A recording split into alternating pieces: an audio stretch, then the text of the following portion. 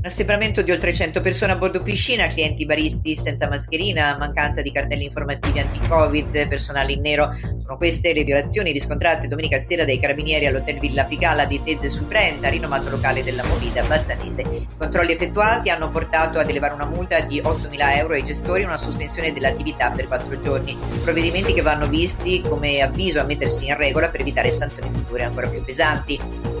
I controlli hanno coinvolto i carabinieri della stazione di Rosà, il personale dell'ispettorato territoriale del lavoro di Vicenza e i tecnici Svisala. Lo scopo era verificare l'osservanza delle norme previste dal protocollo del governo. Durante il controllo sono state constatate una serie di violazioni o assembramento in zona piscina, dove un centinaio di persone identificate chiacchieravano senza distanziamento. Il personale di servizio del locale, come baristi senza mascherina, mancava la cartellonistica informativa anti-Covid. È stata verificata la presenza di lavoratori impiegati in violazione della legislazione in materia di lavoro in nero. Per tutte queste violazioni e peraltro in corso di valutazione sono state elevate una serie di sanzioni amministrative per un totale di circa 8.000 euro. Si è disposta la sospensione dell'attività per quattro giorni.